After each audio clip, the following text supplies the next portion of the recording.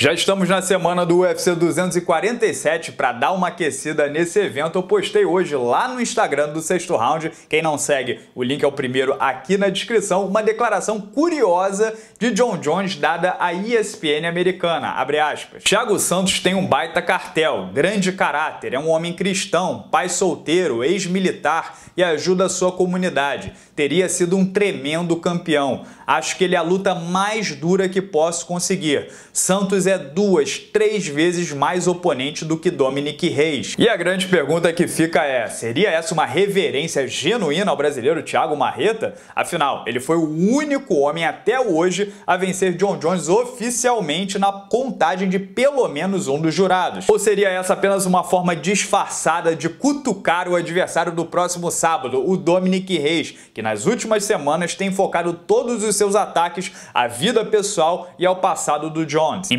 bate-papo com a ESPN, Reis disse coisas desse tipo, Ele nunca vai estar no nível de um Jordan, de um Ali, não importa quantas vitórias ele tenha, não importa quantos títulos, ele nunca vai fugir de quem ele é. Ele não é uma boa pessoa. Possivelmente nesse caso as respostas A e B estão corretas e o campeão dos meio pesados matou dois coelhos com uma só cajadada. Também é curioso pensar que esse apreço do Jones pelo carioca, né, chegou inclusive inclusive a dizer que vinha ao Rio de Janeiro e para noitada com ele na Cidade de Deus, pode ser pelo fato de que o Marreta foi um dos pouquíssimos rivais que não atacou o seu passado e depois de perder disse que é isso mesmo, não deu desculpas e aceitou a derrota. Essa dinâmica inclusive pode ser um grande facilitador lá na frente para o Marreta ter a sua revanche. O John Jones que anda aí com problemas de motivação, não tem o adversário correto, se o camarada, o parceiro Thiago Marreta volta com uma vitória, o caminho pode estar livre. Sete meses depois das cirurgias nos joelhos, Marreta está no estágio final de recuperação. Seu retorno deve ser lá para junho, julho, cerca de um ano depois da luta com Jones. Em entrevista ao combate, ele disse que a expectativa é pegar um top 5 que o credencia exatamente a essa revanche.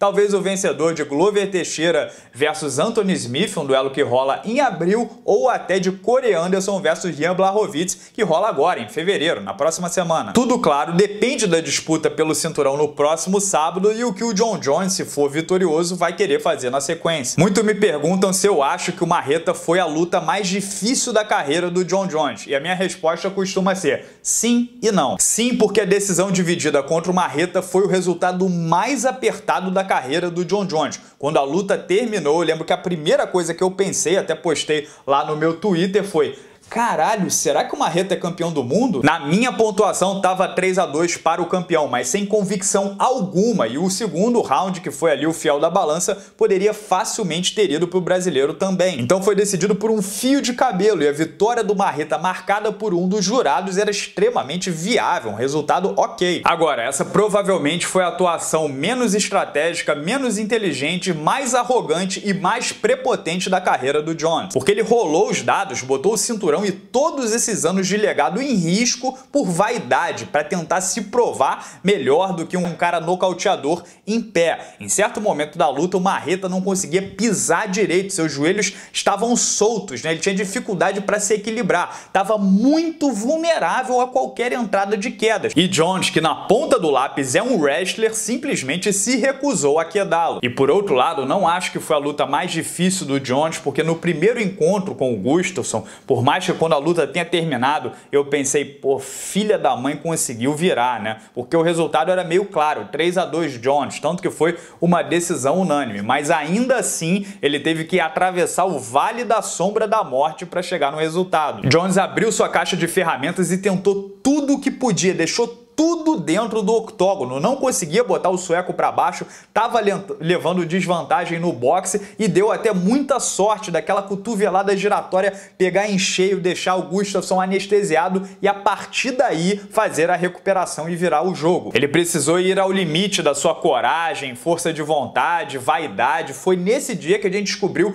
que ele tem coração, que ele vai até as últimas consequências. E é claro que resultado passado não é garantia de resultado futuro, tanto que na revanche com o Gustafsson, Jones palitou os dentes. E na revanche com o Marreta, o brasileiro com os dois joelhos íntegros, sem nenhum problema físico, pode dificultar muito mais as coisas. Mas por outro lado, um John Jones estratégico, misturando as ações, botando para baixo, também pode complicar muito do outro lado. É uma revanche extremamente interessante que eu espero ver em 2020. Como sempre, pessoal, esses são apenas os meus dois centavos, o meu ponto de vista. O que vocês acharam sobre essas declarações do Bonds? Comentem livremente aqui embaixo no vídeo. Se inscrevam no canal para não perder nenhuma resenha. Hoje é terça de rodada dupla. Também falei sobre Kobe Covington, que voltou da tumba cuspindo fogo. Vocês conferem clicando nesse vídeo, nessa resenha aqui do lado. Fechado? Grande abraço a todos, muito obrigado pela audiência de sempre e até a próxima.